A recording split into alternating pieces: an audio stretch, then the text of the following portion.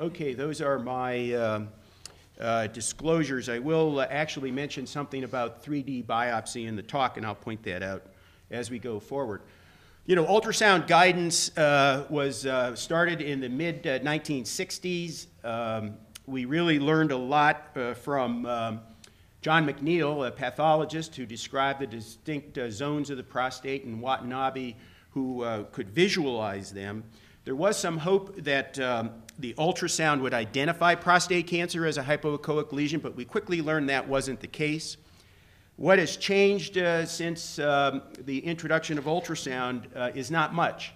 You know, in our uh, PSA screening program, we started out with a quadrant biopsy, uh, which uh, uh, we thought was the state of the art in 1989. Report came out about a sextant biopsy uh, after we started it, so we revised that with the IRB. And over time, I put it to you that that's about the only thing that we've done with conventional transrectal ultrasonography is we've increased the number of cores. And even today, this biopsy remains significantly operator dependent. No matter whether you call it a systematic biopsy, it's random. The cores, some are close together, some are far apart. Everybody knows that we miss significant pathology requiring rebiopsy. And even if we hit the cancer, we don't know anything about the location of the cancer, and it often overestimates or underestimates the, uh, the uh, cancer. Uh, we don't even know what the ideal number of cores are. Uh, there were efforts at this um, about 10 or 15 years ago, a Vienna nomogram that adjusted uh, the number of cores for the size of the prostate and the age of the patient. The implicit uh, belief is that you don't need as many cores in an older guy because you only want to find the larger cancers. I'm not sure that's necessarily true. You can do mathematical modeling uh, that uh, says, uh, boy, if you have a uh, 50 gram prostate and you could perfectly array them, you, you would have, uh, with 14 cores, a 90% chance of detecting a 1cc cancer. But there's just really no way that that happens. We've learned a lot now that transrectal ultrasound in the office uh, really doesn't, uh, isn't as safe and uh, good uh, as we thought it was. Everybody is aware, I'm sure, of the uh, uh, infections, fluoroquinolone resistance. in an effort to diminish these infections, some people use a rectal swab. I myself formalin decontaminate the needle in between each biopsy because that way I feel I'm not reintroducing uh, feces back into the prostate. So although we call it a, a, a, conventional or a systematic biopsy of the prostate, others in the field, me included, prefer to call this a random transfecal hand job biopsy. and it, it really isn't, uh, you know, as, as glorious as we would like it to be. Now, over the years, everybody sort of recognized that, and, and there were some early efforts uh, a number of years ago to do transperineal grid biopsies in an effort to find uh, the cancer, and, and we did. It, even in uh, heavily pre-biopsied populations, you can see up to 10 previous sessions of, uh, you know, transfecal random biopsies, you could still find a significant amount of cancer in, uh, in those uh, prostates. And uh, Brian Moran, who's actually a radiation therapist outside of Chicago, uh, really has written quite extensively on this. Uh, to maximize his detection, you would have to take one core per 1.2 cc's of prostate. So you can see that that would result in a lot of biopsies. But it does give you a lot of information. Uh, it tells you pretty good, with pretty good um, satisfaction, what the real Gleason score is and which octant of the prostate that uh, cancer is uh, located in. And this, this is my disclosure. Now, the, the only thing that's changing in, in the transperineal biopsy using this grid technique is uh, Neil Stone and others uh, are developing an adjustable needle where the biopsy length can be adjusted from one centimeter all the way to six centimeters. The needle uh, itself is very rigid and the bevel is shaped in a very specific way so that there's minimal, if any, arcing as you pass that needle through. And finally, uh, developing a uh, way of unloading that core so that the pathologist can see exactly which is the distal end and which is the proximal end. And if you truly array these every five millimeters or so on your grid, you can then make a nice uh, computer 3D map of where that uh, cancer is uh, within the prostate.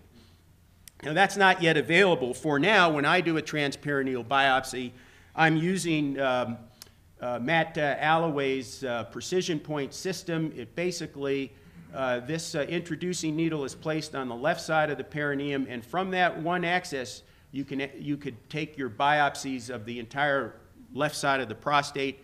Then you reintroduce that needle into the right side of the perineum, and you could take your biopsies on uh, the right side of the prostate. And this is, uh, you'll find a lot of cancers. Uh, we've been doing it now for about a year, year and a half. If the MRI status of the patient is not known, 60% of the time we find cancer, third of the time it's significant.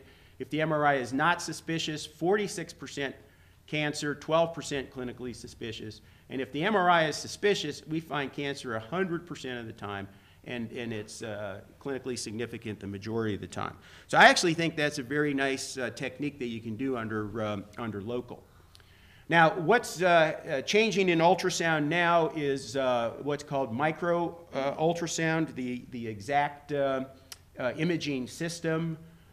this has been studied a little bit in Europe, and you can see image-guided biopsy with MRI and um, this uh, technique uh, resulted in about the same number of uh, cancer discoveries. This is a forest plot of a few different, uh, five independent uh, sites. Some of the pictures you see with this are absolutely amazing, and uh, it takes a little practice to identify the difference between chronic inflammation and cancer.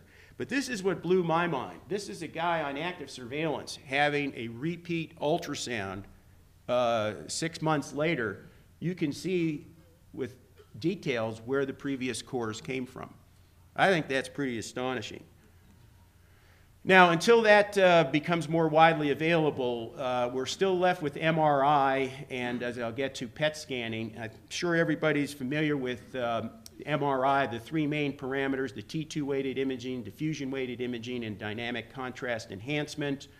Uh, T2 lesions are um, darker uh, for the most part, and this is just an index patient showing this large T2 abnormality in the anterior part of the prostate. Diffusion weighted imaging just asks the question how rapidly are the water molecules diffusing in that part of the prostate. If there's a high grade cancer, the cells are densely packed and water uh, diffuses very, very slowly. So, so the diffusion weighted uh, reference can give you some uh, estimate of whether it's a high grade or a low grade cancer. And then, of course, there's dynamic contrast enhancement. So you can see that if you put uh, all three of these parameters together, hypointensity to uh, bright after you give the gadolinium and uh, uh slow uh, diffusion, you could uh, estimate and predict that that guy has a high chance for a high-grade aggressive cancer, in this case Gleason 9. And because it was anterior, the conventional biopsies are completely negative. And we've been studying this for a number of years, as have uh, many other people. Uh, you could do your um, uh, targeted biopsies uh, cognitively. That works. We've showed that. The group at NYU has shown the same thing. Uh, the best study, the largest study, I should say, on uh, the value for MRI targeted biopsy came from Peter Pinto and the group at NIH. And basically, MRI targeted biopsies resulted in discovery of more clinically significant cancers but it wasn't perfect because it would have missed these eight cancers. So it found 40 extra ones, but it missed uh, eight. Um, we've been uh, trying to integrate uh, MR findings into the nomograms that we use to predict whether a patient should have a biopsy. And our website uh, just went live about uh, uh, a month or so ago. we took the PCPT calculator and we added in um, the uh, prostate uh, volume and the MRI finding. Like I mentioned the other day, MRI estimated PSA density is a really powerful component of this model. So even if your MRI is normal, it gives you some information as to how much cancer is there. So you could just click on that and uh, try to determine whether you uh, want to go ahead with a biopsy. There's a number of randomized trials of MRI. This is the uh, first one showing that uh, if you did an MRI, there's less overdiagnosis of cancer and a higher discovery rate of clinically significant cancer. Second trial published in the New England Journal of Medicine showed uh, essentially the same uh, things, uh, lower rates of clinically insignificant cancer, uh, fewer men undergoing biopsy, and, and enhanced detection of clinically significant cancer. And this, uh, in that study, and this is re- representative of most places, shows the probability of clinically significant cancer if your lesion is a PIRADS 5, 4, and uh, 3. More recently, there's a couple of other uh, randomized trials that have come out on MRI. This one from France, and I'll just highlight uh, MRI targeted biopsy. Uh, you should do that, but it does not seem to avoid the need for systematic biopsy. I agree with that completely.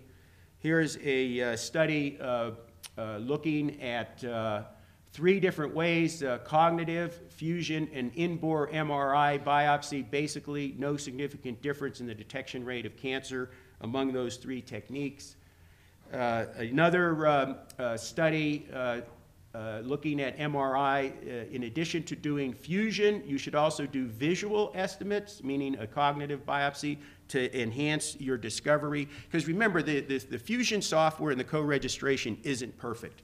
There's a lot of uh, guesswork in science uh, and art to doing a good fusion biopsy. And this is uh, the last uh, uh study I'll uh, highlight. This is from Jelle Barentsz, and he's a very strong proponent of MRI only biopsies. But I would say that, so in his MRI low risk patients, he did not biopsy half the patients, 309 out of 626, and he would have missed about 3% of the clinically significant cancers. On the other side, uh, if he did only MRI targeted biopsy, he found 160 uh, cases of cancer. But if you did that in conjunction with a systematic biopsy, he found a, 180 additional cancers. So to me, this says if you're going to do a targeted biopsy, you got to hit the target as best you can, but you also have to do systematic biopsies. These are data from Stanford showing that even at Stanford, where there's nine radiologists uh, who read MRIs, significant variations in how they assign a given MRI into uh, PIRADS 5, 4, 3, et cetera. And, and uh, the belief is that in the community, it's even worse because Stanford has perfect equipment, a lot of training, and a lot of people. And that's one of the real limitations of MRI. Uh, there's uh, still some unresolved issues. Uh, is it for biopsy naive patients or only repeat biopsies? I do it on the biopsy naive guys if I can get it. Um, we've got our uh, clinical nomograms. Should you add in uh, information from other markers, uh, which I know Priya is going to talk to talk to us later. we're going to be finding a lot of prostate cancer with PET MRI and PET CT uh, there was a uh, eye-opening uh, abstract presented at the AUA last year, not yet been published, but 45 patients with up to one to three prior negative hand job biopsies, still with, and a negative MRI. Half of them had a suspicious PSMA uh, PET uh, scan in the prostate, and you can see how much clinically significant and other cancer they discovered. This was a nice review article in Radiology showing that uh, uh, gallium PSMA PET MRI versus MRI, statistically significant sensitivity and specificity for uh, that modality. And like I said, the MRI itself can predict whether the uh, cancer you discover has a high or a low Gleason score. But these uh, SUVs from the PET uh, MRIs are even better predictors of, of high grade versus non high grade disease. This was one of the uh, studies that really hit home to me. Uh, in, in a group of uh, uh 31 patients who had radical prostatectomies, you can see all the cancers were discovered by histology, of course. PSMA PET found all but three of them. MRI only missed these 15. So PET MRI, I think, is coming on. It's much more sensitive than, uh, than uh, MRI alone. We've got a lot of uh, stuff going on at WashU. Uh, the Prostate Cancer Foundation has funded um, a number of studies that, uh, that we're doing, and, and you can find terrific uh, pictures of, uh, uh, you know, Gleason. Here's a Gleason 9 focus within the prostate. You can see looking at these different sort of mathematical permutations, you can really, really see the cancer. So I think the future is very bright, that we will have much better imaging biopsy than just a conventional MRI. Whether it's going to be this high-frequency ultrasound or a combination of PET and uh, MRI, I think uh, remains to be seen. So uh, thank you uh, very, very much. Um, Appreciate that.